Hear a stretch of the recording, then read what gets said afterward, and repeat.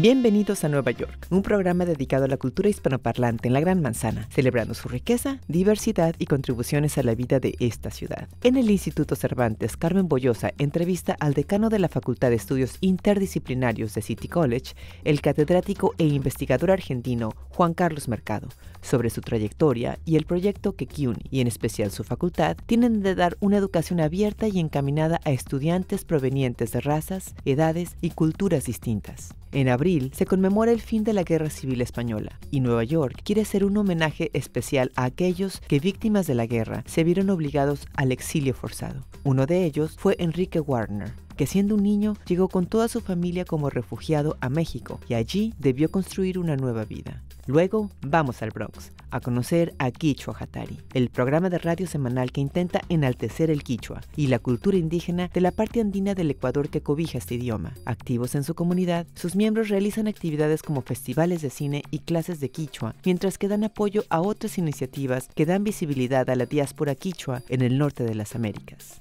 Y ahora vamos con Carmen Boyosa. Bienvenidos a Nueva York. Soy Carmen Boyosa. Hoy tenemos un invitado en mi corazón muy especial. Juan Carlos Mercado es el decano de City College Downtown y yo tuve la suerte de que hubiera sido mi jefe durante siete años. Muchísimas gracias Carmen por invitarme. ¿Cómo llegaste aquí a City College, a esta situación tan especial antes de que vayamos a el proyecto en el que estás hoy mismo? A veces me tengo que pinchar yo mismo, ¿no? Porque yo vengo de un pueblito muy pequeño eh, y bueno, salí de este pueblo a los 18 años y eh, fui a la Patagonia a enseñar. Ibas de maestro rural. De maestro rural. A una, comunidad mapuche. A una comunidad mapuche. Y, bueno, pusimos en marcha la escuela que estaba prácticamente abandonada durante un tiempo.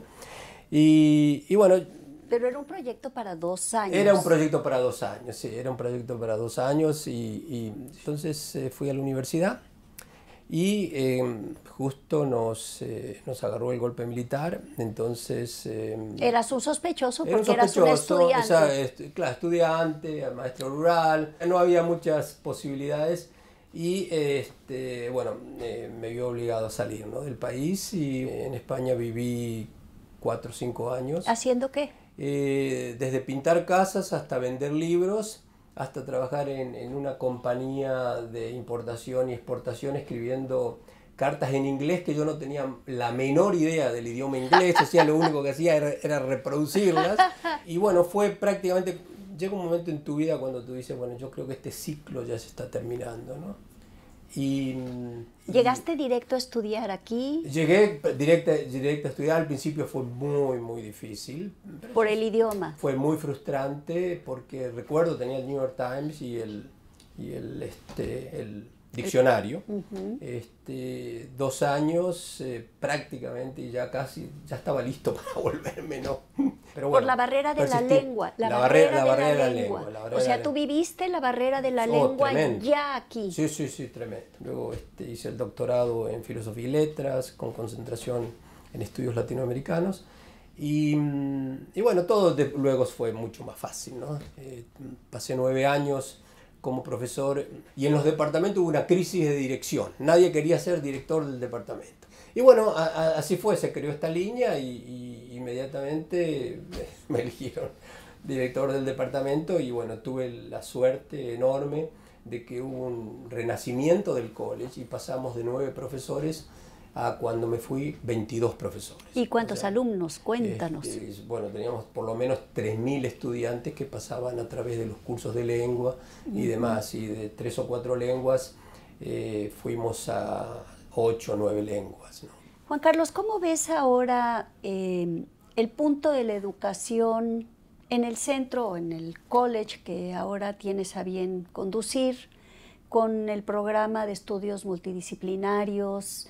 City College, City University of New York, es la universidad más diversa de los Estados Unidos. O sea, desde su fundación hasta ahora ha estado abierta a los inmigrantes y en este momento de la historia, ¿no es cierto?, que nos toca vivir, eh, la mayoría de nuestros estudiantes son inmigrantes o hijos de inmigrantes. Tenemos muchos estudiantes de DACA. Eh, eh, la universidad, digamos, tiene un compromiso muy grande con estos estudiantes, se han creado becas especiales y la, la, otra cuestión es que no solamente los directivos de la universidad, sino también el alcalde de la ciudad de Nueva York y el, y el eh, gobernador eh, están totalmente comprometidos con el tema de la inmigración, ¿no?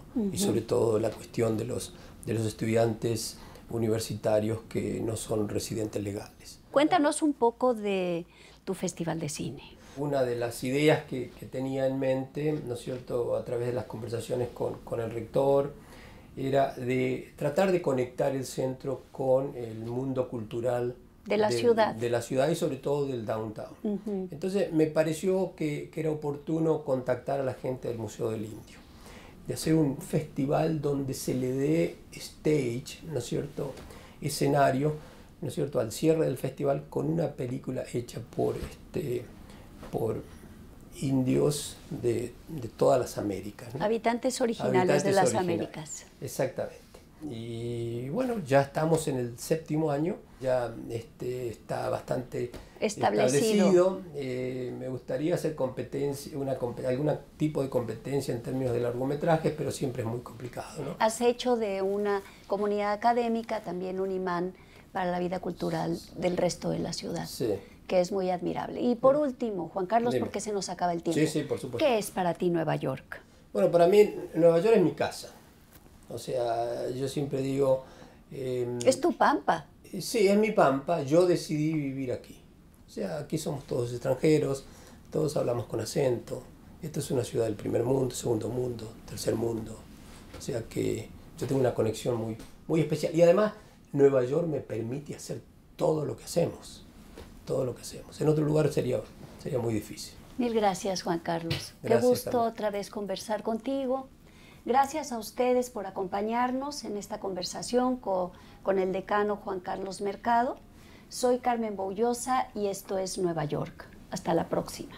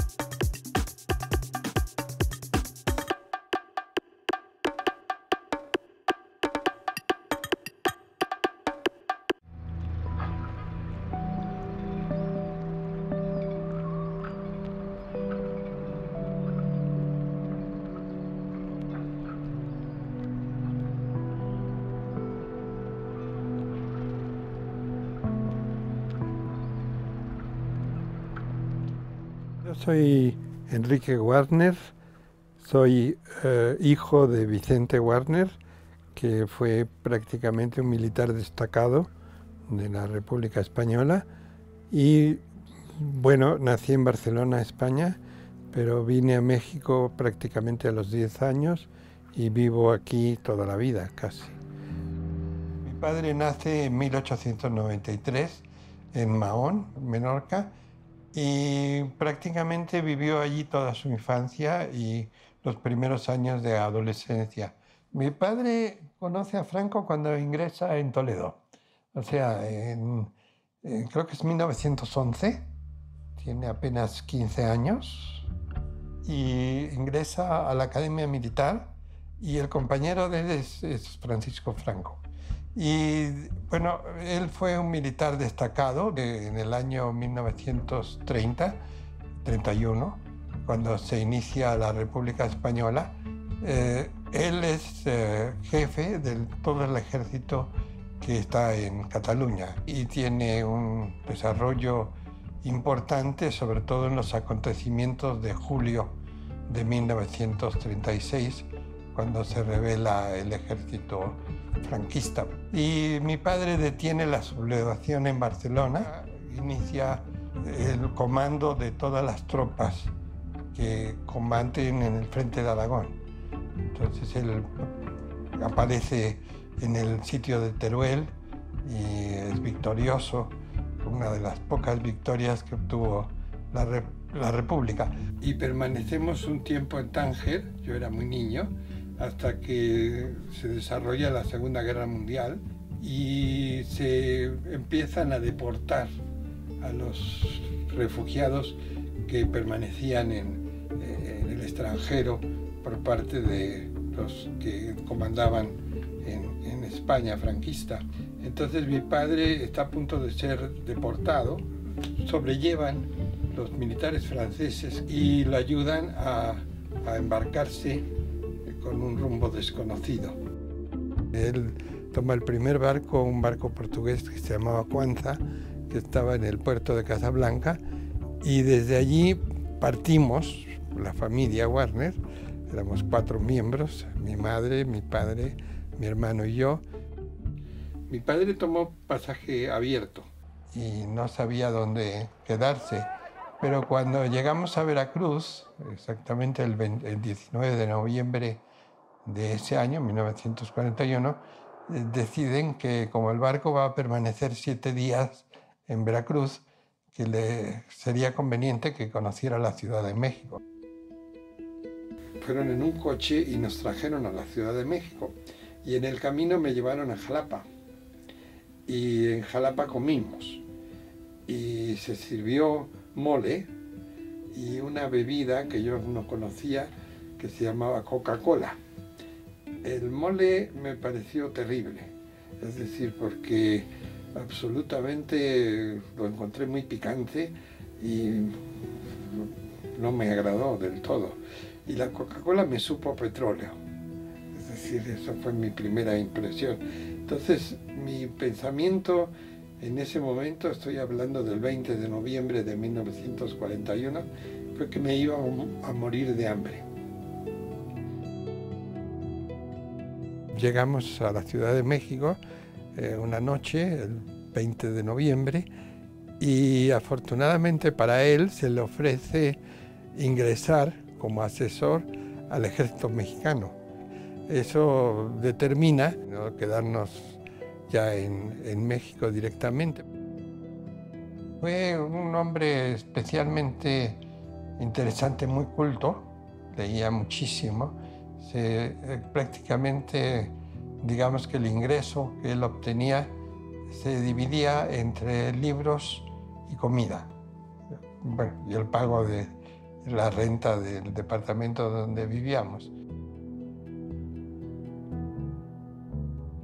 La mayor parte de las gentes que entraban a mi casa eran españoles y españoles refugiados.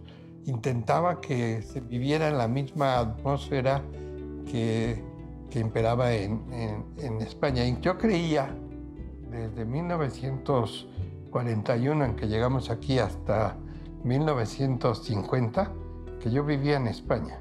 Yo iba exclusivamente a colegios españoles, mis profesores todos eran refugiados y los amigos, los niños con los que me juntaba o adolescentes, ah, poco a poco, también eran todos ellos españoles de origen. Y no fue hasta 1950 en que cambió el panorama. Es decir, cuando ingreso a la UNAM, a la Universidad de México, me encuentro con que no vivo en España, sino que vivo automáticamente en un país distinto que se llama México. Mi padre pensaba que algún día volvería a España y en general no volvió hasta que murió Franco en 1975. Yo fui directamente el que le informó que había muerto Franco. Lo llamé por teléfono para decirle que había muerto.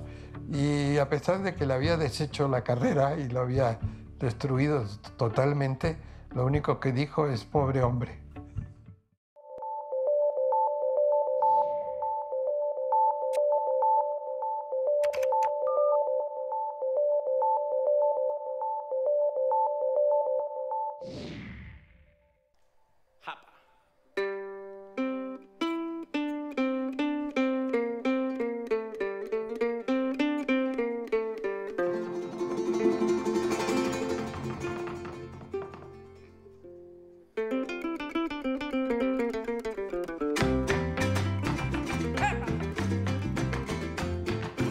que yo conocía allá por Manhattan un gallo tenía.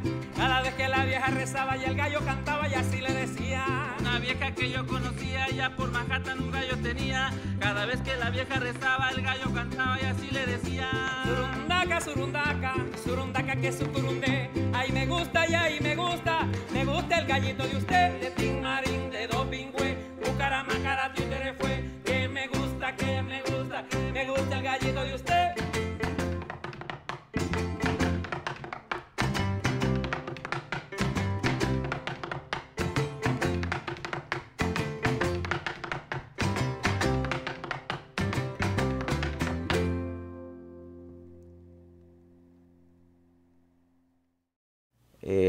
Nace más todo porque nosotros queríamos eh, escuchar la música. En ese entonces no se podía escuchar la música eh, nuestra, ¿no? La música quichua, la música de nuestros artistas de Ecuador.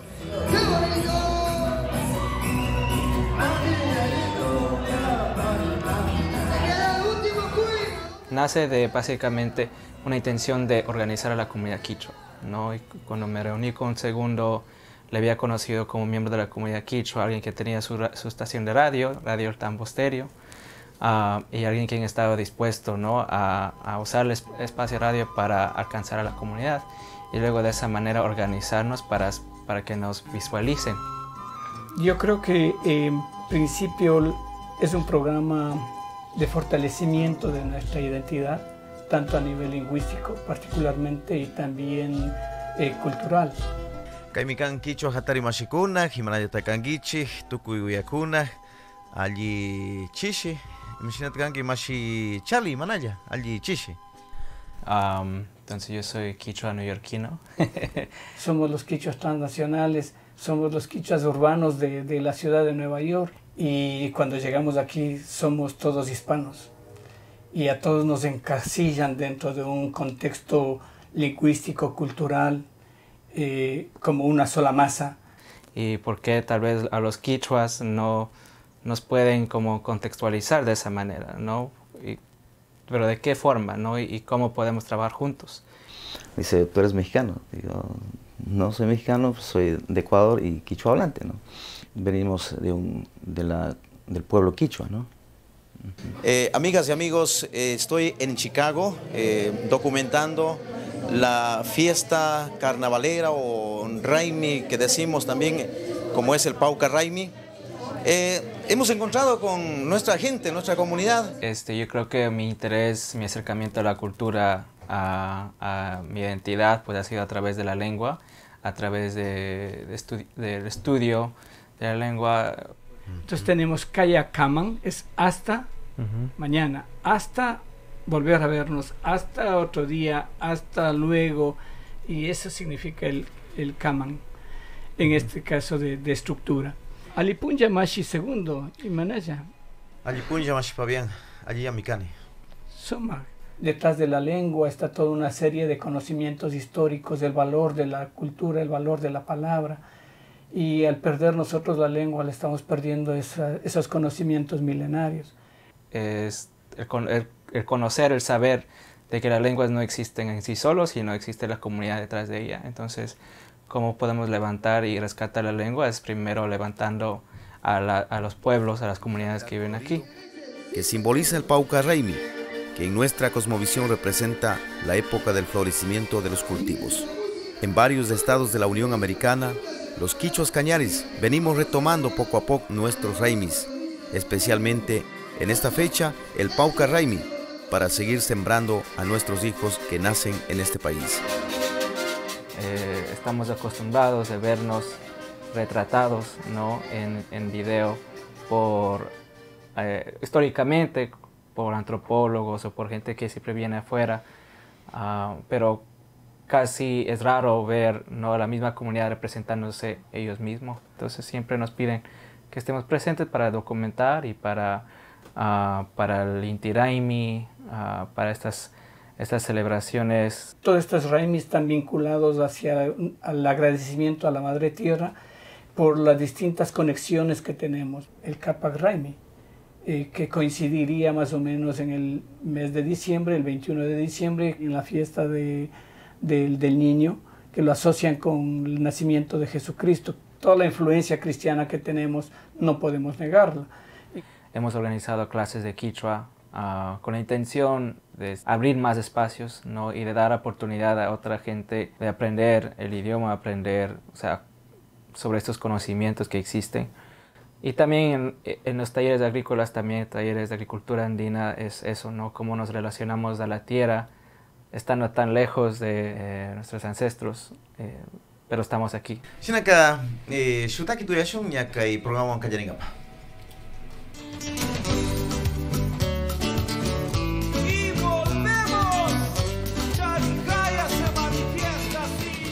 Eh, sin embargo, creo que la política como está establecida y estructurada no permite que los pueblos indígenas tengamos una voz altiva, una propuesta de, de reivindicación de derechos. Y mucho menos aquí. Pero luego, luego pues ya comenzó a resucitar, resucitar, resucitar, resucitar. Pero anteriormente, como estoy diciendo, pues ahí pues casi no había, muy poco era. Ahora hay vestimentas ya. Y ahora he buscado ya. Yo pienso que hace unos 10 años atrás parece que no nos conocían como quichuas, ¿no? Pero ahora eh, casi la mayoría de la, de la, gente nos conoce como quichua hablantes. Entonces, y eso también, uh, la, el inicio de la radio y el programa nos ha favorecido para que nosotros también eh, no tengamos mucho miedo de, de salir con nuestra propia vestimenta o también hablar el quichua, ¿no? Yo paichani, mashi Fabián, mashi Elena y mashi Charlie, sinaka voy a contar, pues yo paichani, que llamo Chasca Punjagama.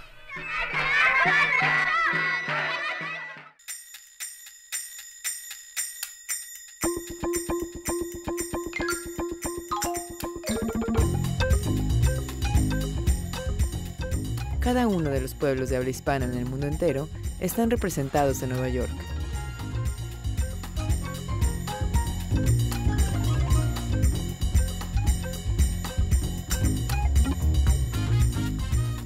Contáctenos.